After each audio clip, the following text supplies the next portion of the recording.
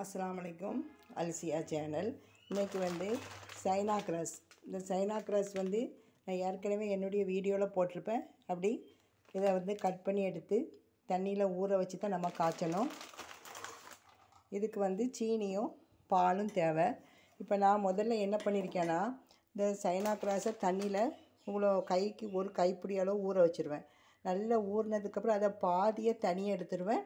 பாதியை தனியாக எடுத்து முதல்ல வந்து வெறும் தண்ணியில் அப்படியே காய்ச்சுவேன்.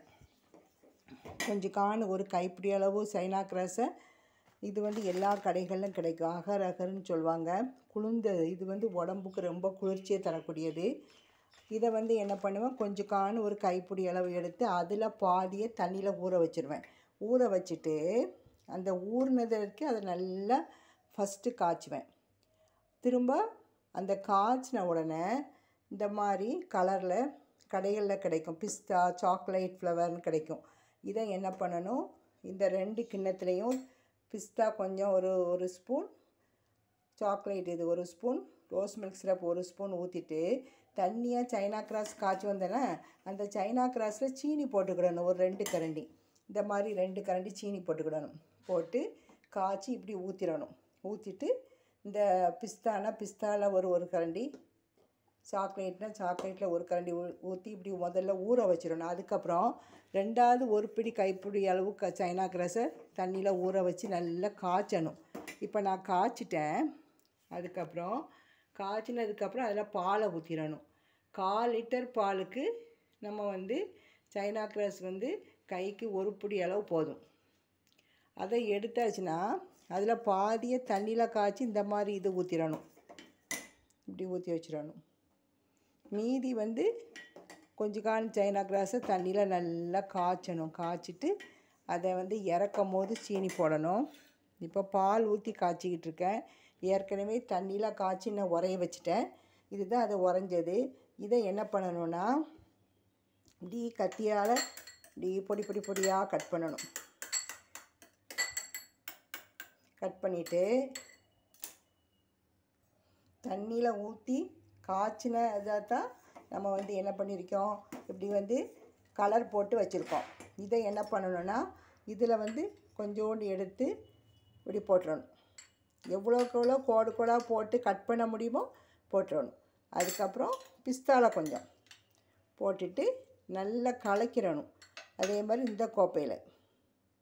இதில் கொஞ்சம் போட்டுட்டு சாக்லேட் ஃப்ளவரில் கொஞ்சம் போட்டுக்கிடணும் இதை ஃப்ரிட்ஜில் வச்சாச்சுன்னா எப்பவும் நம்ம வந்து செய்யும் போது அதை யூஸ் பண்ணிக்கிடலாம். தினம் வந்து நம்ம இப்படி ஊற வைக்க வேண்டாம். ஒரு நாள் காய்ச்சி வச்சாலே போதும். அதுக்கப்புறம் ரோஸ் மில்க் இதில். மூணு கலர் இப்போ நான் போட்டிருக்கிறது வந்து மூணு கலர் இந்த மூணு கலரில் தான் இப்போ காய்ச்சின பாலை ஊற்ற போகிறேன் இந்த பாருங்க. இதை நல்லா கலக்கிறணும். இதையும் நல்லா கலக்கிறணும்.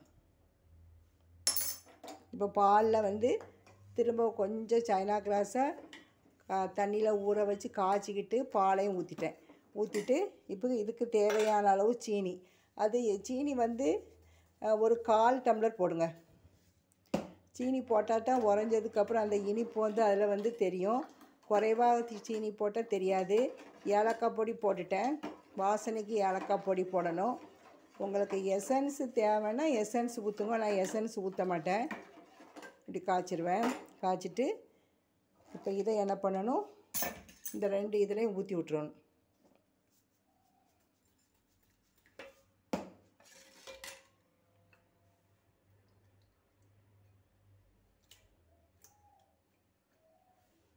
போட்டுட்டு இதை தனியாக வச்சிடணும். இதை இன்னொரு தடவை காய்ச்சும் போது இதை போட்டுக்கலாம். இன்னொரு தடவை காய்ச்சும் போது இந்த மீதி உள்ளதை போட்டுக்கலாம்.